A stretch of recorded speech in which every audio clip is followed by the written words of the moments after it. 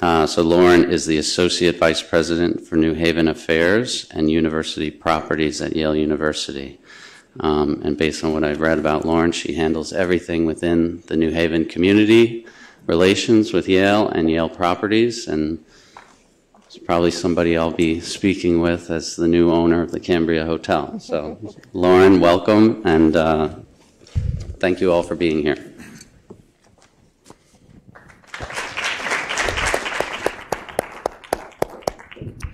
Thank you, Francis, and good morning, everyone. We're delighted to see you all today for our panel. As Francis said, I am Lauren Zucker, and I am going to be moderating this panel this morning. So I'm going to start by briefly asking um, each of our panelists to talk, to introduce themselves. Now, their full bios should be in the program that you have, but I want them to introduce themselves in context to 101 College and what their relationship is to the project. And I'll just go straight down the line, starting with Carter Winstanley. Great. Thank you, Lauren. Uh, my name is Carter Winstanley. I'm a principal at Winstanley Enterprises, and we are the developer of both 100 College and 101 College. Hi, my name is Dave Liu. I am with Harrison Street. Uh, we are a um, investor nationally and internationally in kind of alternative real assets. Um, life sciences being one of our main sectors, and so we are one of the we are one of the main investors in 101 College. Good morning. My name is Michael Piscitelli. I'm the Economic Development Administrator for the city. Uh, first, on behalf of Mayor Elicker, our, our, entire team, thank you for coming to New Haven today. For many of you who are, are coming back maybe for the first time in some time. Um, our role for, with this particular project relates to our overall work plan, which is uh, the public infrastructure to support inclusive growth in our city, connecting residents to that opportunity, and staying closely aligned with the economic sectors that are growing here. And we'll talk a little bit more about that later in the program. Good morning. I'm Josh Geballe. I'm the managing director of Yale Ventures. Uh, Yale Ventures is a new organization that the university created to bring together all of the programs that we have that support entrepreneurship and innovation across the university. And so um, our, our, connection to this discussion is really a, a lot of the tenants that are uh, both going to be initially in 101 and more generally are feeding the demand for lab space and, and development uh, in New Haven are uh, often Yale spinouts. Um, and so our role is to help take a lot of the billion dollars that get Yale invests each year in research and help translate that into new startup companies, new partnerships that can develop those technologies uh, and often drives a significant demand for, for real estate and lab space here in New Haven. Great, thank you all. And I should have said at the beginning, there will be time for Q&A at the end, so I'll start by asking a few questions, but at the end there'll be ample time to answer any questions anyone has. So we can't talk about a project without actually talking about the project. Um, why don't we put up a slide of what 101 College is going to look like? And I'm going to turn it over to Carter. Can you give us just a brief description of 101 in the building? Great. Uh, so 101 College is a 10-story, half a million square foot life science uh, project that's new construction. It's part of the downtown crossing uh, project in New Haven, and it's actually a sister building to 100 College, uh, which if you're looking at this rendering on the right side of the rendering, that's 100 College. That's the building currently occupied by Alexion and Yale University. And 101 College is the next building in that downtown crossing uh, development. As I said, it's special purpose lab or life science building. Uh, it's designed specifically to accommodate tenants like Alexion, Arvinas, um, and some of the small startup companies that are coming out of Josh's office. What's very exciting from my standpoint, having worked in New Haven on the life science sector over the last 23 years, is we're really beginning to see a maturing of this industry in New Haven. Uh, we've developed over 2 million square feet of life science projects in town. Uh, there's tremendous demand for these projects today. Uh, it's coming from a number of tenants that are growing organically out of the university system in town here, primarily out of Yale, but also out of UConn and the other universities in Connecticut. Uh, I would say that uh, the downtown crossing project contemplates uh, several other buildings, and I think as this demand really comes together, uh, we'll see more opportunities for these buildings. Uh, I would say as we came into this market 23 years ago, uh, I think of it as life science development maybe 1.0, and we're on maybe 11 or 12.0 right now. Uh, you know, what we're seeing on the stage today really represents university, investment, development, uh, the city, and state involvement. And we'll probably talk a lot about all of those factors in what makes a successful market. And today, this is a very streamlined group that uh, leads me to be very excited about the future of New Haven and life science. Thanks, Carter. I mean, how long does it take to develop something like this? When did you have the first inkling that you wanted to do 101 college? Uh, I would say my first inkling really started 23 years ago when uh, we first came to town and I sat with Bruce Alexander and John Soderstrom, uh, who convinced me uh, at the time I was in my 20s. And uh, I think I was easily convinced uh, that all of the raw materials were in town to really create a life science sector. And uh, by raw materials, there was a deep pool of intellectual property in place. Uh, there was great tech transfer starting to come together. There was municipal involvement, state involvement.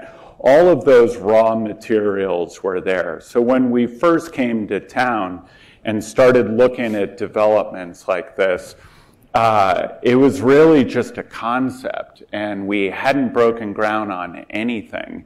And the first project we did was actually 300 George Street, uh, which was half a million square feet of former phone company uh, space uh, right next to the med school. And that project was a pretty quick turnaround in that it took us seven years.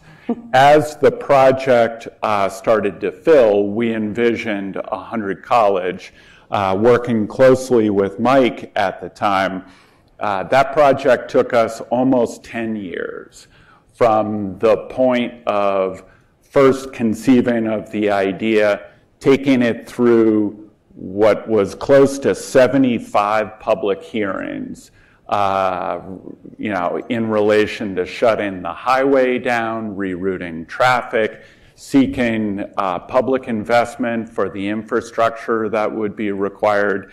I remember people getting up in the public hearings talking about the fact that we were going to create uh, traffic Armageddon uh, by rerouting all of the traffic in the downtown and fortunately, we did not create traffic Armageddon. We actually improved traffic, I think, in town.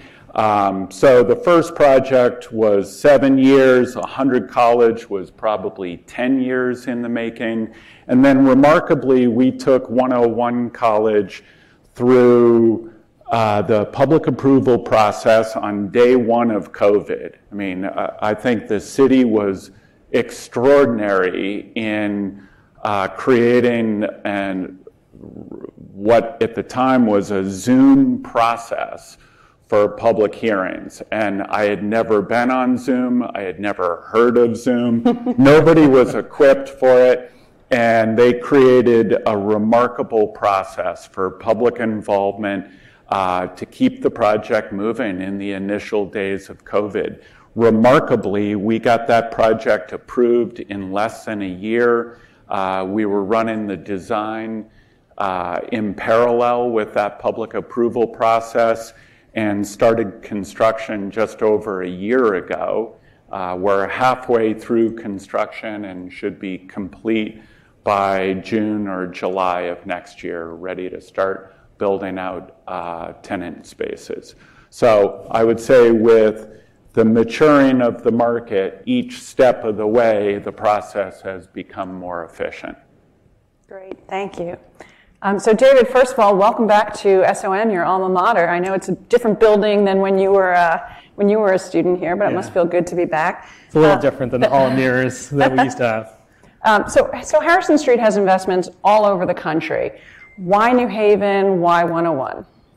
Yeah, I mean, um, you know, I think when we're looking at life science investments, it's, it's, it's a lot of the stuff that Carter was just talking about, but we look, we look at markets and we try to understand kind of what the life sciences and biotech ecosystem looks like there and, and how healthy it is and, and how kind of sustainable it is. Um, you know, and so when you look at New Haven, I think all you got to do is look at the, the hard corner that Carter and, and Yale have, um, have really built with 100 College and, and 300 George. And I, I personally, in a former life, had the, uh, the honor of asset managing those two buildings and, and developing a relationship with, with Carter and Yale a little bit. So um, knowing just how thriving that ecosystem um, really is and, and everything that's been built over the last 20 years or so um, gave us confidence to, to invest um, in this ecosystem. And the second thing, obvious, um, is Yale, right? And the sponsor, and the institutional sponsor that, that Yale really has been for, for this ecosystem. And so that, that comes from tech transfer and the IP that's coming out of the university in addition to kind of the partnership as far as occupying some of these buildings and, and being an active participant in the ecosystem. So, you know, between those two things, um, it, it, was an incredible opportunity to get, get, get involved. And then the final thing is really community and whether or not the community, um, A, understands life sciences and, and B, kind of encourages it. And uh, with this project and uh, folks like Michael uh, and the city of New Haven truly encouraging it and, and on my end, I understand how much um, and how many different stakeholders it takes to get a project like this uh, completed and, and, off the ground, and, and that this this project certainly has that. And we at Harrison Street are very, very um, honored and um, fortunate to be a part of it. Great. So that's a perfect segue to Mike. Mike, what is the role of the city in a project like this? So um, a number of different roles, right? And I think in reflection of what we're hearing so far, um, I'm struck by the, the importance that we've um, placed on not skipping any steps in this process. That building upon what we did with 100 College Street was really, really important. There were, when this image was first drawn, about 10,300 residents in the city filing for continuing unemployment claims. And none of the stimulus programs that we see today were approved were talked about, they weren't necessarily approved. So when we embarked on this, it had a lot to do with the proof of concept that we had worked on for many, many years, closing five highway ramps, really doing the work to make sure that we were doing this the right way, in part because New Haven, on a per capita basis, received more money during the urban renewal period than any other city in the country. And there were damages associated with that. And we're still going through a long period of reconciling with our community and staying closely attached, which many innovation districts around the country wrestle with, was a very important part of the deeper role that the city had. So we are doing this infrastructure, you know, out there tearing out the highway, and we're working a development agreement on the fundamental fairness of like deal points.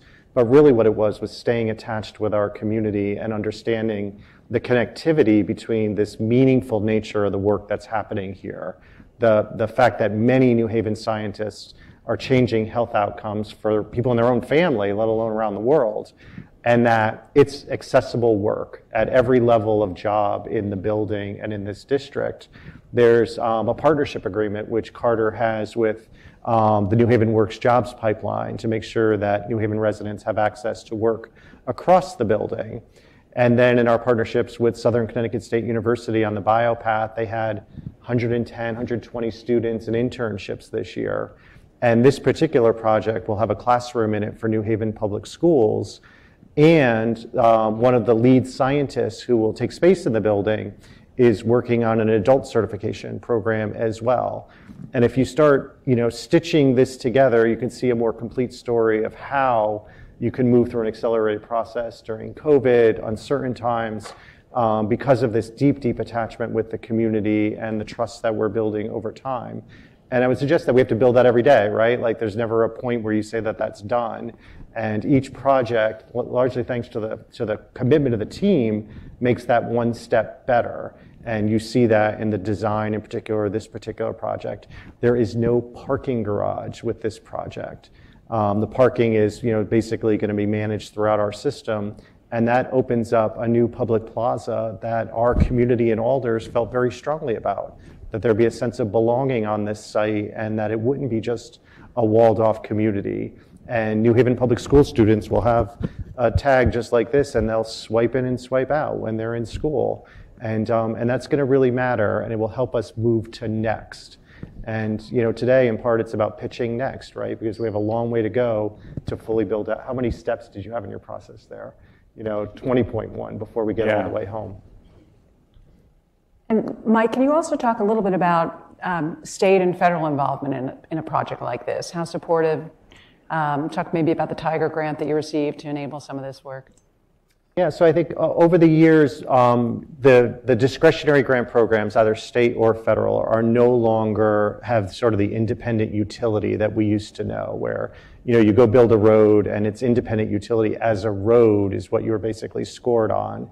Um, today, our you know programs, if you will, want to see job growth, um, high level of commitment to the overall municipal plan and the and the growth of the city as a whole, and you're held to that standard.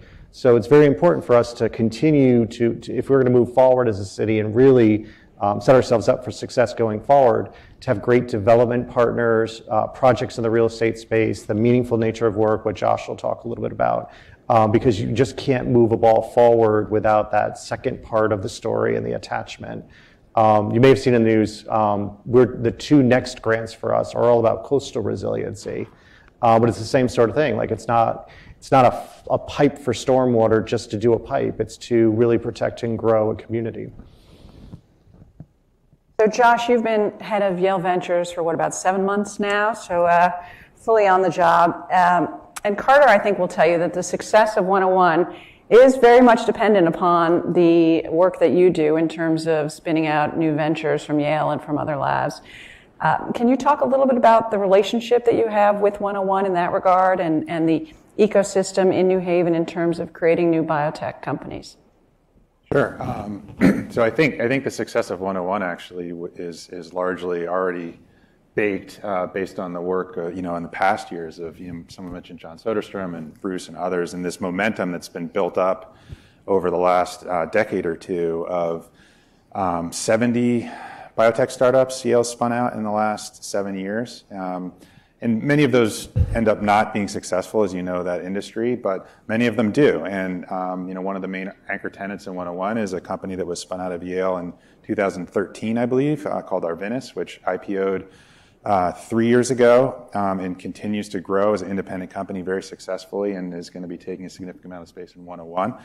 Um, equally, uh, Alexion was mentioned earlier. That was a Yale spinout uh, about 20 years ago, I think, maybe even a little longer at this point that um, also IPO'd, um, uh, had a little bump in the road where they had a new CEO who lived up in Boston and decided he didn't want to move, so they moved some headquarters jobs up there, but the research operation stayed here, and I think the general employment count here in New Haven kind of never really wavered that much.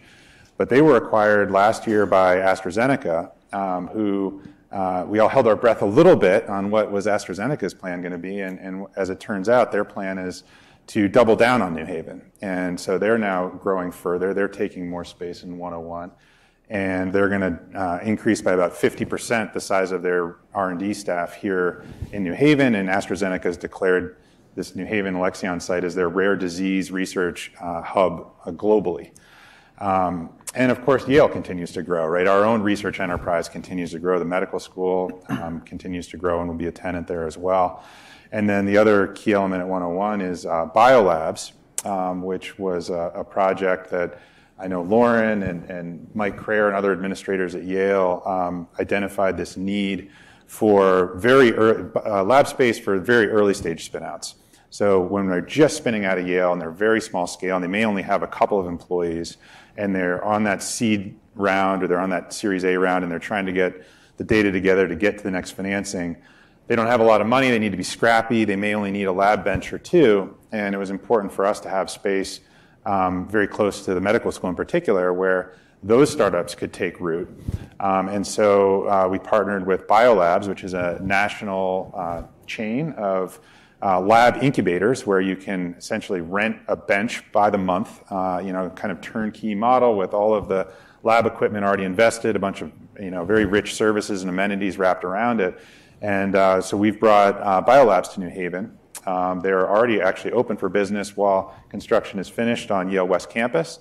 And then as soon as uh, the second floor is ready for them, they'll be moving in uh, to the second floor uh, here at 101. So, you know, 101, I think, is, is a great example of like, as this builds up over time, the demand is there. But, you know, we're already thinking about the next project because, you know, we're, the work that we're doing at Yale Ventures right now um, is only going to further open the floodgates of Yale IP and Yale inventions out into commercialized uh, applications. And so, you know, we anticipate in the coming years the demand for more space only continuing to build. And so, you know, I'm really excited about, you know, already the next projects, right, and kind of the march, right, from, uh, you know, from where these developments are, you know, kind of down towards the train station. There's a lot of space in there. And, you know, it's very easy to kind of blur your eyes and envision, you know, 10, 20 years down the road, that whole area is completely filled in with buildings like this. And we've got an incredibly robust, thriving uh, bioscience ecosystem. Although I would point out that it's not just bioscience at this point, too. That has been kind of our bread and butter over the years. But we have tremendous investments the university is making right now in our School of Engineering and Applied Science. Some of you may have seen announced last year, um, they'll be growing their faculty by 50% in the coming years. It's a massive investment by the university. A lot of those faculty that we're hiring are very uh, entrepreneurially oriented. I talk to a lot of them in the recruiting process.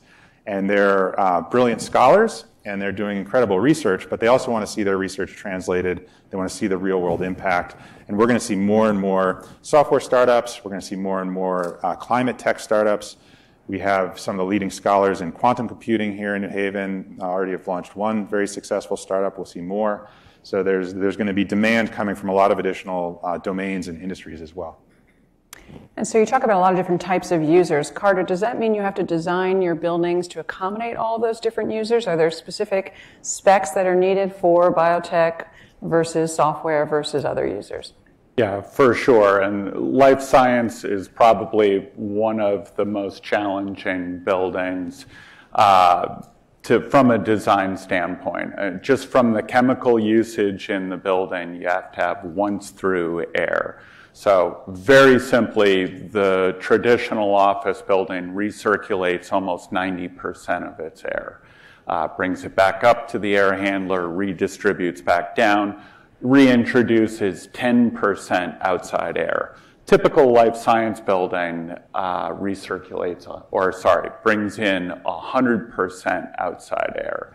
And so that doesn't sound like an unusual feature to a lab building until it's zero degrees out.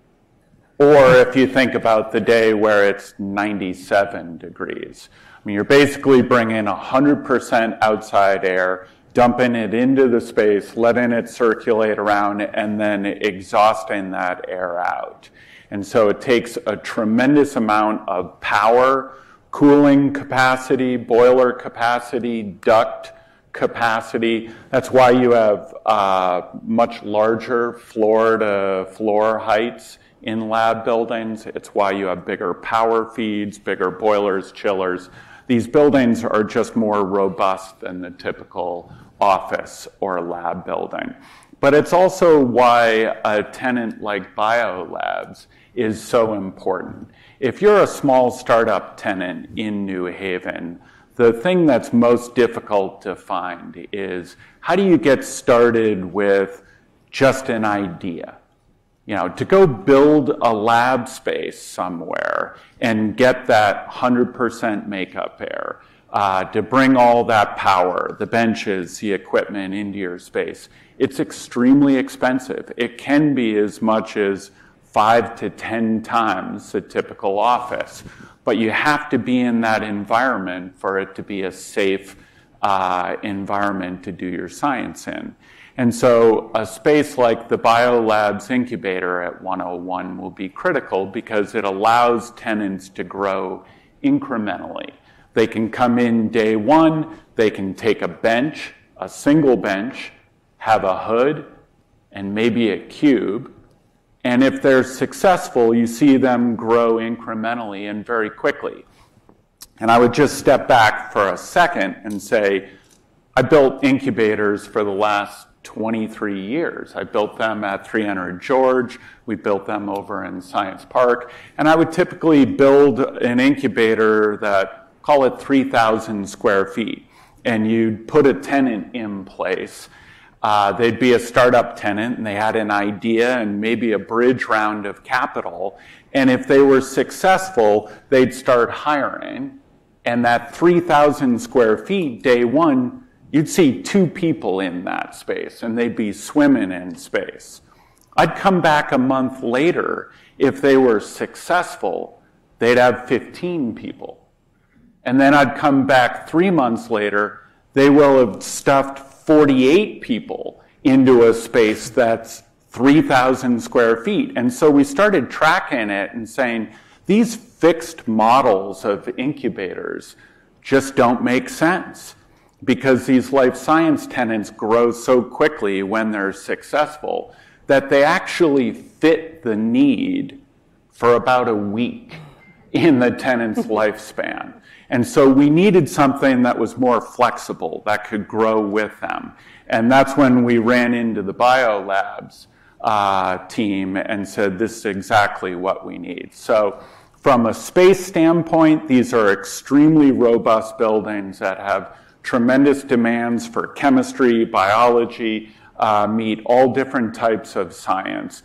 But then within the space, to have a space like biolabs, which will be 50,000 square feet. So if you come in and you have that idea that takes hold and you start hiring, you'll be able to grow bench by bench, hood by hood. You'll be able to take a graduate uh, suite or a a larger suite within biolabs and really grow through the building. And then if you grow out of the biolab space, you'll be able to grow upstairs or into an adjacent building or into the greater New Haven area.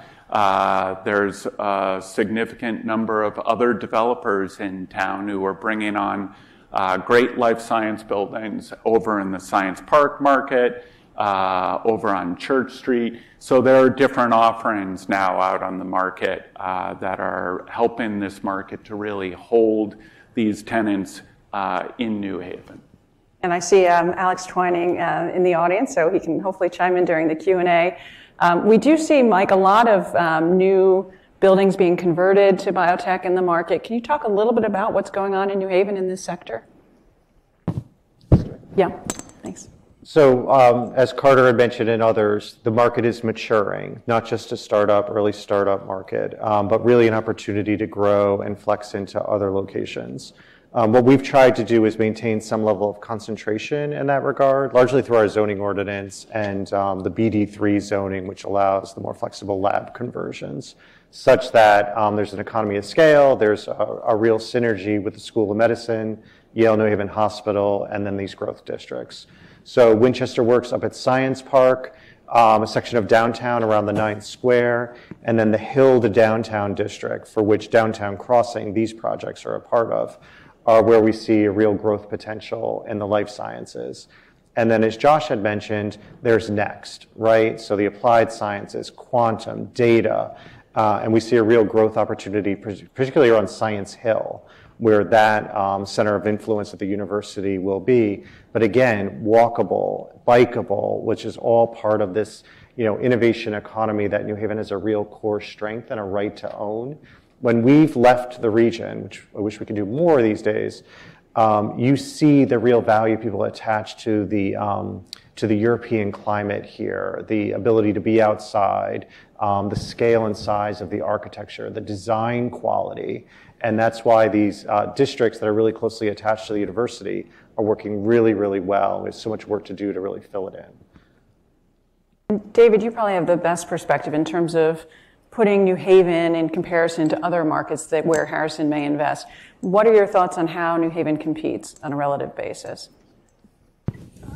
That's a good question. Um, look, I, I, think New Haven is. Um, I, I, think New Haven's greatest asset. One of the, I'm a little biased as an alum, but I think Yale, um, having Yale University here, and again, you know, with all the IP that's coming out, with kind of how forward thinking the tr- tech transfer office is, as well as just um, that is a huge asset, and it's it's it's something that you know, as you kind of if, as I stand here and kind of look around at, at the life sciences ecosystem, it's really it's got such a bright future, and and so you know I would say um, you know there, there's these established kind of superclusters, as we call them, as it comes to life sciences, where you have the, the Boston's, the San Diego's, and the San Francisco's. But if you look at all three of those clusters, they all started really with a with a large sponsor kind of institution and a large research institution, and so um, with Yale being here and, and uh, again the community supporting it, I don't see any reason why eventually it won't be um, at that level. I, I want to jump in on that and just add. Uh, you know, David's great. He's been a great investor and supporter of the work that we do here. But they travel around and look at lots of different markets and try to see, you know, if this market makes sense, if that market makes sense. Uh, they look for all the raw ingredients. You have to turn this around though and say, what does it look like from the tenant standpoint? And if you're a li- young life science tenant in town, what are your options? You can grow here adjacent to the IP or the intellectual property that's coming out of Yale or where your science is founded. And then you can take that to the Bay Area. You can take it up to Cambridge or to the seaport or to New York. And so, what does that look like? At minimum, it's twice as expensive. So, the Boston market is typically uh, over $100 a foot net right now. We just signed a $120 lease. I love hearing that. So keep, keep pushing rents up there. So uh, I look at that and say, from a tenant standpoint, the New Haven market has options, whereas the Boston market has had extraordinarily low occupancy or uh, vacancy rates. But more than anything, it's the New Haven market's half the cost. That's just on your fixed cost of real estate. The other component is labor. So if you go up to the Boston market, and as Alexion did, uh, they went up to the Boston market and they immediately posted a whole bunch of uh, open positions.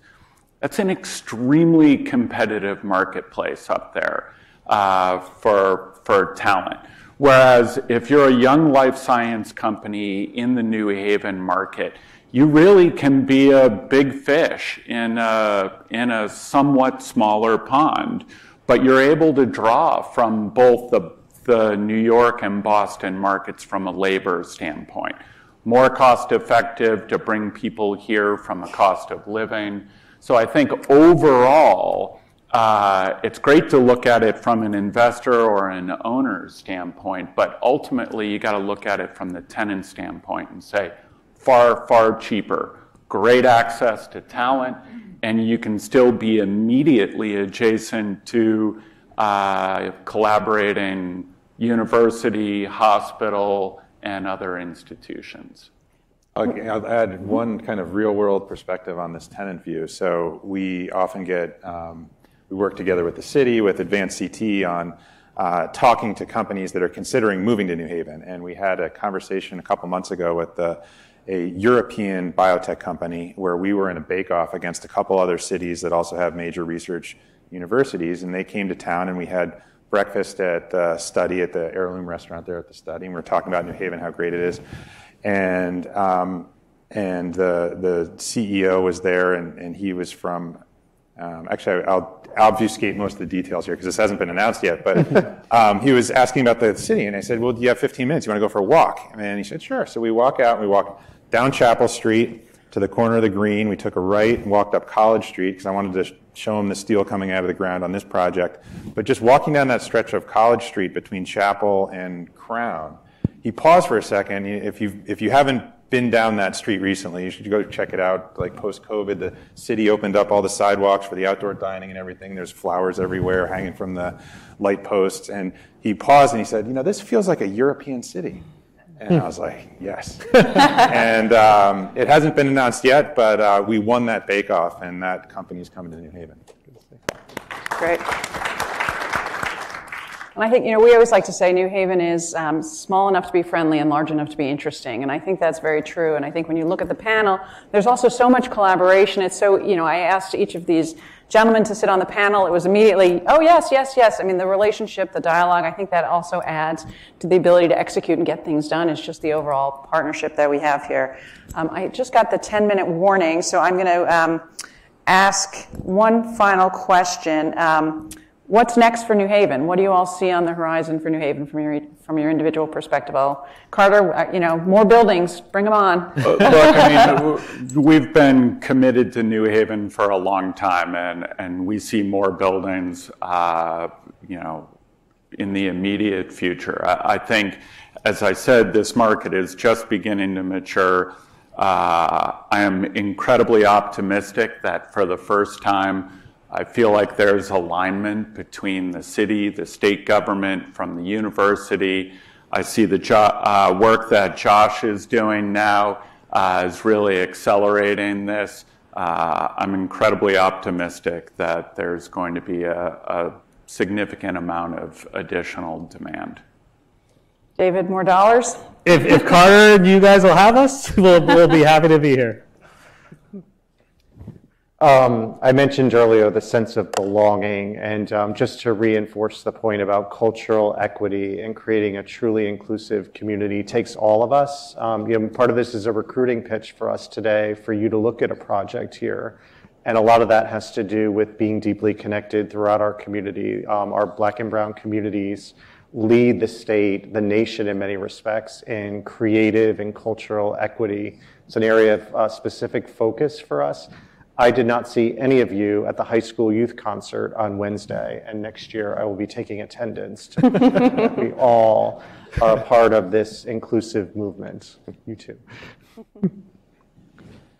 Yeah, I mean, I, I think it's uh, one of the reasons I, I, took this job and came back to Yale was just that it feels like a, a moment in time where there's just so much potential and there's kind of unlimited opportunity here. You know, Yale is going to keep growing the research enterprise. You know, there's, we're never, our researchers are never going to run out of new things to invent or new ideas. They're always going to be out on the forefront. So there's just this unlimited kind of engine of innovation that's, um, that's rooted here. And then it's up to us what we do with that and create the environment where those, uh, those ideas can take root here in New Haven, have the, the physical spaces, have the intellectual capital, um, have the, the uh, community uh, that gives rise to success of those ventures. Because in the end, the odds of our startups being successful, if they can be here and not have to go up to Boston or New York, where the, the, the scientific founder can walk across the street to spend time with their startup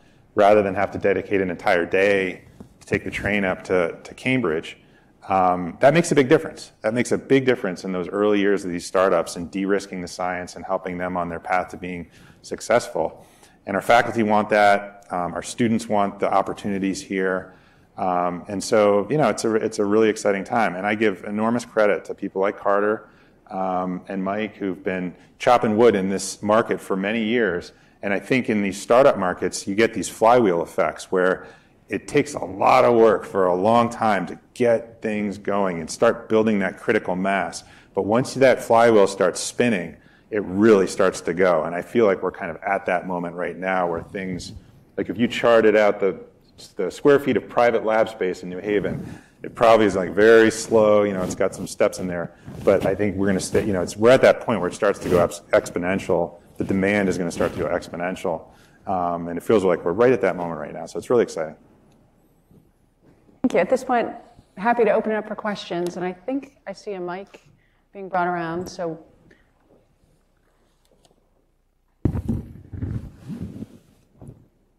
Thank you. Great presentation. I enjoyed all your comments. Just a question. If you were to dial back 20 to 25 years ago, when a lot of this was on the drawing board and some of you were involved, and Josh, you mentioned a lot of chopping wood has taken place during this period of time. What could have been done perhaps 20 years ago to have accelerated this process? And, uh, and and, and what might have happened or what might have been the turning point maybe five years ago or 10 years ago that's helped to accelerate this?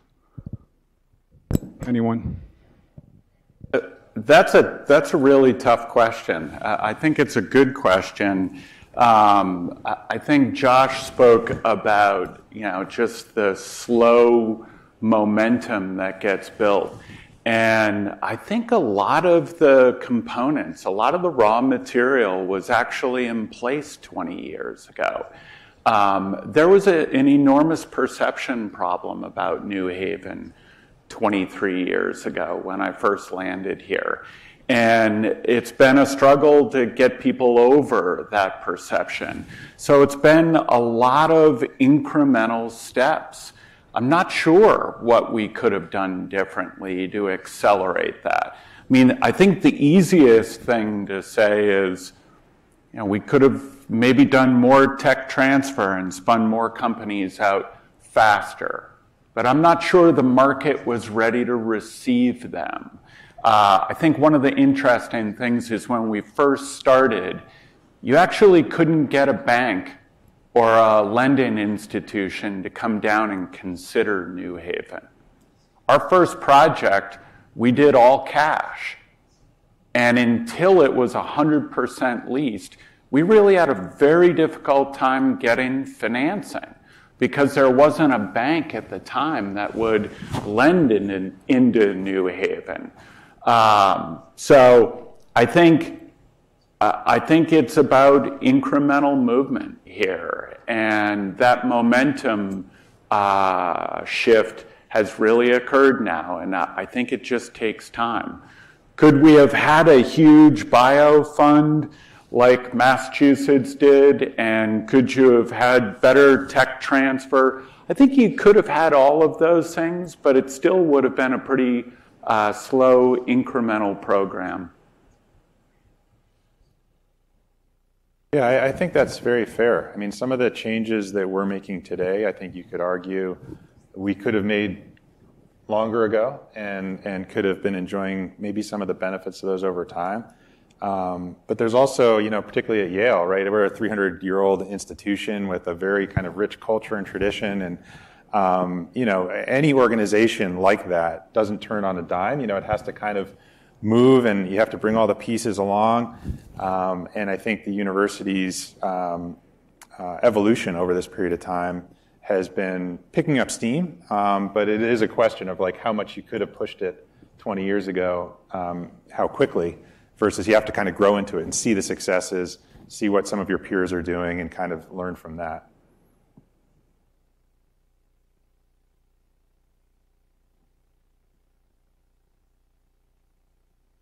Thank you. This is kind of a follow up on sort of projecting forward. Um, I, I live in Cambridge, Massachusetts, and Kendall Square, people may not realize, has actually been nearly 50 years in the making.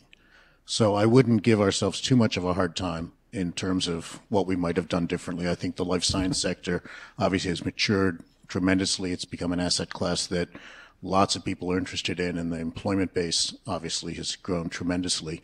And I wanted to ask about that because, um, you know, people talk about collaboration in places like Kendall Square, and uh, that's really code for poaching each other's employees. um, and and you know, you referred to the competitive um, job market and so forth, and that is a big factor, and frankly, a much bigger factor for most companies than the cost of real estate. So, 120 bucks is a lot of money, but it's really about the employees. So I'm curious, what is the um, labor base, if you will, in the life sciences, um, you know, the employment in New Haven? And when you look down the road, look 10 years in the future or whatever, I mean, obviously, you know, Kendall Square started you know, with just MIT. And, you know, as David said, it was, you know, you need one. And there are cities all over the country that are doing exactly the same thing. And I think New Haven's better positioned than many of them. Um, but my question would be, at what point do you, what's the employment base you look at, or how many companies are here, whatever the metric is, where you say, okay, now we're at, you know, the next level where it starts to feed on itself, and you you are no longer um, sort of competing against the Boston and San Diego and the other places like that so much as creating your own your own vibrant uh, system that companies are attracted to, um, you know, because of the size of it already. Yeah, I'll, take a first shot at this. I mean, I think um, in terms of the labor market here around bioscience, we've we've built up quite good critical mass at this point to the extent where when a company does fail, their employees get hoovered up by other companies like very rapidly. So that's kind of like the first acid test is like when a company fails, do their employees have to move to came to Kendall Square to find their next job? And the answer right now in this market is no. They get they get picked up very quickly by other local companies. Um, and more, moreover, um, there's tremendous demand for more talent here, right? And it's at every level. So it's at the in the C-suite, um, where we've built up a, I think, a great kind of network of, you know, kind of C-level biotech executives who kind of move from company to company over time. Um, but one dynamic that's changed there is, I think, in a post-COVID world where it's now kind of understood for a lot of these these types of jobs, you don't have to be on site five days a week. We're seeing more and more now the founding CEO of one of our spinouts actually be somebody who lives in Boston and who will take the train down two or three days a week and work remotely a couple days a week, and that's fine. And that's happening a lot. So now we're able to tap into some other markets that, that don't require people to move their families, but that are now more accessible. At the kind of mid tier, like bench scientists, maybe earlier in their careers, um, we're doing a lot uh, to do, I think, a better job connecting our academic institutions and the pipelines of our graduate students um, directly into these, these startup companies. Conventional wisdom with this group, and I, I've spoken to a lot of Yale students since I got here, there's still this kind of default mentality of graduate and move to move to Cambridge or graduate and move to New York. That's just kind of what you do. Um, and we've been working hard to open their eyes to all of the opportunities that are right here in New Haven. One quick example that we uh, created a, a, sprint internship program this past summer. Um, a couple of the biotech CEOs took the initiative to create this thing. In its first year, they placed 170 students in internships in local biotech companies in their in their first year. Mm. And I think those internships are critical. You're right. You get the you get the tentacles out into the community. They get some full time offers when they graduate. You get much more retention of our students. So there's a lot of momentum there. And then at the kind of lab tech, lab operations roles, we're working with the city. Um, and uh, one of our uh, faculty members, Craig Crews, is taking initiative to create a job training program um, for New Haven residents who may not have a college degree, um, but uh, who can be trained on the job in like an apprenticeship type model, four to six months. We're lining them up with different companies. Carter's actually helping to support making this possible at 101 and Biolabs as well, where we can get them into lab tech jobs and get them onto a career path to participate in the growth in this market in ways that, as Michael alluded to earlier, help increase the diversity of our biotech companies, help create opportunity in the communities here, and ensure that the growth that we're creating is, is very inclusive for the community as well. So, time for one more question. Um, I wonder whether you anyone could comment on whether they see uh, parallel developments in or competition from the Providence market? I, I can speak a little to that, just in, in the sense that uh, my prior uh, life, we um, we developed and uh, and operated uh, with our partners um, with another developer. Uh, um, have, have a bunch of life science buildings that have gone up in Providence. Um, you know, Providence is a similar value proposition in that they, they, they have a university there. Um, that has provided some sponsorship as well, and it's it's you know driving distance to Boston, and it's also has a kind of a value prop as well. I, you know, um, I, I, think at the end of the day, if you look at the strength of the institutions, I, I think it's um, again my bias is clear, but I think I think there's there's a certain strength here. I think the the IP is probably stronger coming out of here as well, and um, and uh, I would say the local community is also a, a lot um, more encouraging as well. So, not to speak badly, I think those projects are doing quite well up there. But I think um, New Haven has a has a, a lot of great resources um, going for it. I'd also say, knowing those developments, physical proximity is essential. Uh, Josh spoke about it a bit. Uh, it's something that we've heard from our tenant base again and again. Physical proximity to where the science or the founding science laboratory